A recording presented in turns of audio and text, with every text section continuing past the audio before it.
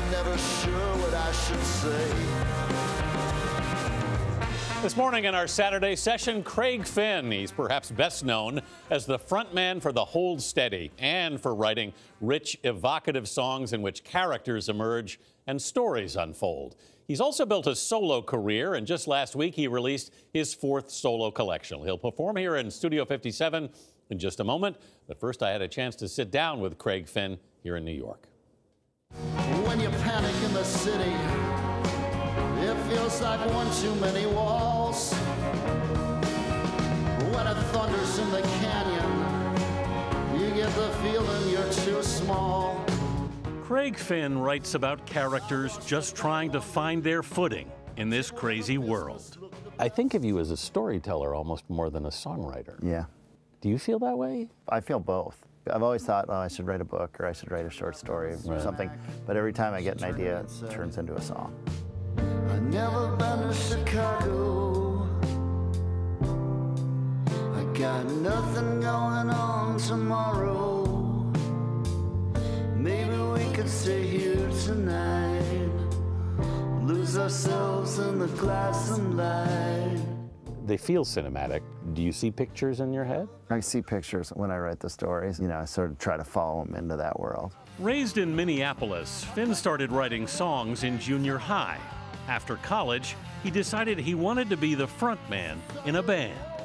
Was the driving force that you wanted to sing your own songs? Yeah. Yeah. Yeah. I mean, I wanted to, and I was starting to write and hear it in a way um, that, that I knew I could I could deliver these songs in that Right. way.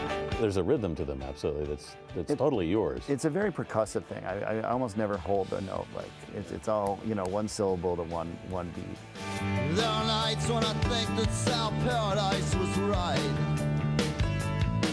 Boys and girls in America. He was 31 when he formed the Hold Steady. The band broke through with their second album, Separation Sunday.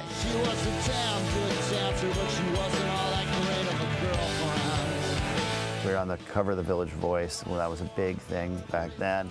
You think you're the smartest man there is? Another big moment for the band when their song The Bear and the Maiden Fair was featured on Game of Thrones. How did you get that then? The guys who created it were big fans. I will say it. It um, put me in touch with how big Game of Thrones is. Like you know, like the second it happened, your phone just sort of levitates off the, off the uh, table. But even more important for Finn was when the Hold Steady played at a Bruce Springsteen tribute at New York's Carnegie Hall, and Bruce asked Finn to take the lead singing Rosalita.